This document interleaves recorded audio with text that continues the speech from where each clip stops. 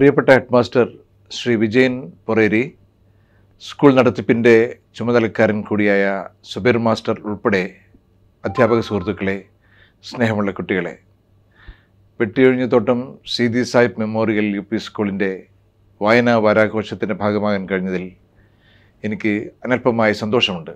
മൂന്നാൽ കാര്യങ്ങളാണ് എന്റെ സന്തോഷത്തിന്റെ കാരണം. ഒന്നാമതായി വെട്ടിയൊഴിഞ്ഞത്തോട്ടം എന്റെ നാടാണ്. കോളിക്കൽ എന്റെ വീട്ടിൽ നിന്നും ഒരു വെളിപ്പാട് അകലെയുള്ള പ്രദേശമാണ് വെട്ടിമഴിഞ്ഞോട്ടം അതുകൊണ്ട് തന്നെ കോളിക്കലും ആര്യങ്കുളവും വെട്ടിയൊഴിഞ്ഞ തൊട്ടവും കട്ടിപ്പാറയുമെല്ലാം എനിക്ക് ഗ്രഹാതുരത്വം തരുന്ന പ്രദേശങ്ങളാണ്.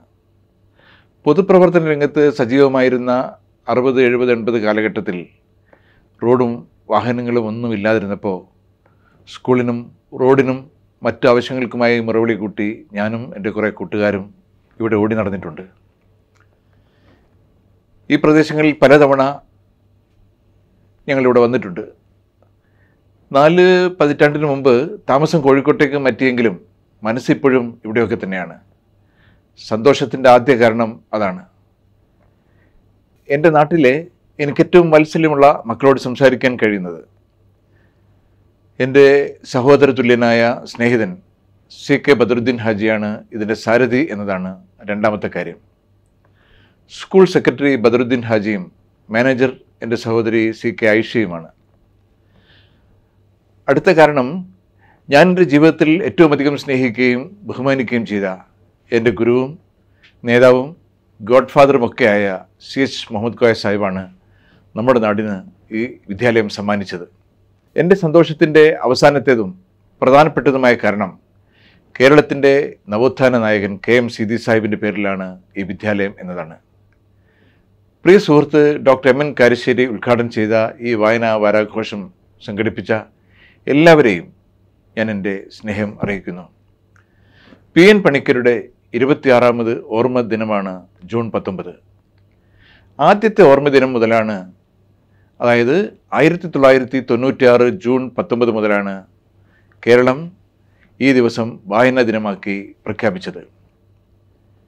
രണ്ടായിരത്തി പതിനേഴിൽ ഇത് ദേശീയ വായനാ ദിനമായി പ്രധാനമന്ത്രി ശ്രീ നരേന്ദ്രമോദി പ്രഖ്യാപിച്ചു. അത് കേരളത്തിനുള്ള ഒരു വലിയ അംഗീകാരമായിരുന്നു. സന്തോഷമുള്ള കാര്യമാണ്. ഒരു പുരുഷായുസ് മുഴുവൻ വായനയുടെ പ്രാധാന്യം മലയാളികളെ ബോധ്യപ്പെടുത്താൻ കേരളത്തിലെ എല്ലാ ഗ്രാമങ്ങളിലും വായനശാലകൾ സ്ഥാപിക്കാൻ ഓടി നടന്നു പണിക്കർ. ഓർക്കുക ഒരു സാധാരണ പ്രൈമറി സ്കൂൾ അധ്യാപകനായിരുന്നു പണിക്കർ അദ്ദേഹത്തെ അറിയാത്തവരാരും ഇന്നില്ല. അദ്ദേഹത്തെ കേൾക്കാത്തവരിന്നില്ല. എന്റെ കുട്ടികളെ ഞങ്ങളുടെ കുട്ടിക്കാലത്ത് ഇത്ര സൗകര്യങ്ങളൊന്നും ഉണ്ടായിരുന്നില്ല. നമ്മുടെ നാട്ടിൽ വായനശാലകൾ വിരളമായിരുന്നു. ലൈബ്രറികൾ നാമമാത്രമായിരുന്നു. അന്ന് പൂനൂരിൽ ഒരു ലൈബ്രറി ഉണ്ട്. രണ്ടോ മൂന്നോ പത്രങ്ങളും ഒന്നോ രണ്ടോ ആഴ്ചപ്പതിപ്പുകളും നൂറോ നൂറ്റി അൻപതോ പുസ്തകങ്ങളുമായിരുന്നു അവിടെ ഉണ്ടായിരുന്നത്. പൂനൂർ യു പി സ്കൂളിൽ ഞങ്ങൾ പഠിക്കുന്ന കാലത്ത് ഒഴിവ് കിട്ടുമ്പോഴൊക്കെ എന്റെ തലമുറ അവിടെ പാഞ്ഞെത്തി. വൈകുന്നേരങ്ങളിലും ലൈബ്രറിയിൽ കയറി മാത്രമേ വീട്ടിലേക്ക് തിരിച്ചു വരൂ എന്നതായിരുന്നു ഞങ്ങളുടെ രീതി. എം കെ മൊയ്തീൻ ഹാജിയും കുട്ടിനാരായണൻ മാസ്റ്ററും പൂനൂർ കെ കരുണാകരനും ഡോക്ടർ സി എം കുട്ടിയൊക്കെ ആയിരുന്നു പൂനൂരിൽ ലൈബ്രറി സ്ഥാപിച്ചതിന്റെ ശില്പികൾ. വായിച്ച പുസ്തകങ്ങൾ തന്നെ വീണ്ടും വീണ്ടും വായിച്ചു. മധുരമുള്ള ഓർമ്മയാണത്. എം ടിയുടെ നാലുകെട്ടും മഞ്ഞും എസ് കെയുടെ നാടൻ പ്രേമവും തെരുവിന്റെ കഥയും തകഴിയുടെ ചെമ്മീനുമൊക്കെ ആ കാലത്താണ് വായിച്ചത്. സെക്കരയുടെ ആദ്യ നോവൽ ഉണ്ണി എന്ന കുട്ടി വായിച്ചതും ഞാൻ ഓർക്കുന്നു. ഇപ്പോൾ സത്യത്തിൽ അതൊന്നും വിശ്വസിക്കാൻ കഴിയുന്നില്ല. ആ പ്രായത്തിൽ ഈ പുസ്തകങ്ങളൊക്കെ വായിച്ചോ എന്ന് ഉൾക്കൊള്ളാൻ എന്റെ പ്രയാസം. അതിന്റെയൊക്കെ ക്രെഡിറ്റ് എനിക്കല്ല എന്റെ കൂട്ടുകാർക്കുമല്ല.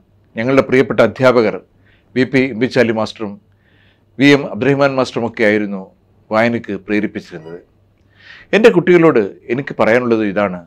നിങ്ങൾ വായിക്കുക കിട്ടുന്നതെന്തും വായിക്കുക. അത് കഥയോ കവിതയോ നാടകമോ ലേഖനമോ എന്തും ആവട്ടെ ഇത്തിരി കൂടി കഴിഞ്ഞാൽ നിങ്ങൾക്ക് വിവേകപൂർവം തിരഞ്ഞെടുപ്പ് നടത്താനാവും.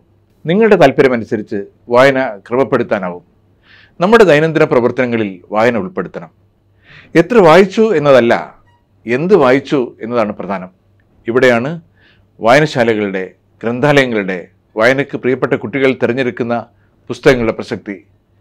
നല്ല പുസ്തകങ്ങളിലൂടെ ഒരു വൈറ്റമിൻ ഗുളിക കഴിക്കുന്ന ഗുണം നമുക്ക് ലഭിക്കും. പണിക്കരുടെ വാക്കുകൾ ഓർക്കുക വായിച്ചു വളരുക ചിന്തിച്ച് വിവേകം നേടുക. കുഞ്ഞുണ്ണി മാഷ് പറഞ്ഞതും ഇത് തന്നെയാണ്. വായിച്ചാലേ വളരൂ വായിച്ചാലേ വിളയൂ എന്നാണ് മാഷ് പറഞ്ഞത്. നിങ്ങളുടെ മനസ്സുകൾ വരണ്ട പൊട്ടിക്കിണറുകളാവരുത്. അവിടെ സ്നേഹത്തിന്റെ സംസം നീരുറവയുണ്ടാവണം. വായന നിങ്ങളുടെ മനസ്സിന്റെ ആർദ്രത വർദ്ധിപ്പിക്കും. പുസ്തകം വായിക്കുമ്പോൾ നിങ്ങൾ ചിലർക്കെങ്കിലും ഉറക്കം വരാറുണ്ട് എന്ന് എനിക്ക് തോന്നുന്നു. അപ്പോൾ പഠനം നിർത്തുക. ഒരു അരമണിക്കൂറോ ഒരു മണിക്കൂറോ ഒരു ബ്രേക്ക് കൊടുക്കുക. എന്നിട്ട് ഒരു കഥയോ കവിതയോ ലേഖനമോ എന്തെങ്കിലുമൊക്കെ ഒന്ന് വായിക്കുക. നിങ്ങൾക്ക് ഉന്മേഷം ലഭിക്കും. തീർച്ച വീണ്ടും നമുക്ക് പുസ്- പാഠപുസ്തകങ്ങളിലേക്ക് തിരിച്ചു വരാം. വായന തുടങ്ങി നമ്മൾ പുസ്തകങ്ങളെ സ്നേഹിച്ചു തുടങ്ങിയാൽ ഒരിക്കലും നമ്മൾ ഒറ്റപ്പെടില്ല. വിശ്വസിക്കാൻ കഴിയുന്ന കൂട്ടുകാരനാണ് പുസ്തകങ്ങൾ. നമ്മുടെ ചില സുഹൃത്തുക്കളുണ്ട്. നിസ്സാരമായ കാര്യങ്ങൾക്ക് പോലും പിണങ്ങിപ്പോകും അവർ പക്ഷേ പുസ്തകങ്ങൾ ഒരിക്കലും നമ്മുടെ മുഖത്തിരിക്കില്ല. അവ നമുക്ക് സന്തോഷം നൽകും. ക്ഷമയോടെ നമ്മെ കേൾക്കും. നമ്മെ കാത്തിരിക്കും. നമ്മ- നമ്മുടെ ദൗർബല്യങ്ങൾ നമ്മുടെ ദൗർബല്യങ്ങൾ അവർ തിരിച്ചറിഞ്ഞ് പെരുമാറും. നമ്മൾ ശരീരം ശ്രദ്ധിക്കുന്നവരാണ്. ആരോഗ്യം നോക്കുന്നവരാണ്. അതിനായി നമ്മൾ പതിവായി വ്യായാമം ചെയ്യാറുണ്ട്.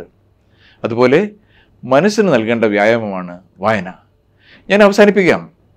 നമ്മുടെ വിദ്യാലയം ഏറെ പുരോഗതി കൈവരിച്ചു കഴിഞ്ഞു. മിടുക്കന്മാരായ അധ്യാപകന്മാരും അധ്യാപികമാരുമുണ്ട് നല്ല കെട്ടിടം ഉൾപ്പെടെ ആവശ്യമായ ഭൗതിക സൗകര്യങ്ങളൊക്കെ ഉണ്ട്. നിങ്ങൾക്കെല്ലാം മാതാപിതാക്കളുടെ തീവ്രമായ സ്നേഹ പരിവിലാളന ലഭിക്കുന്നുണ്ട്.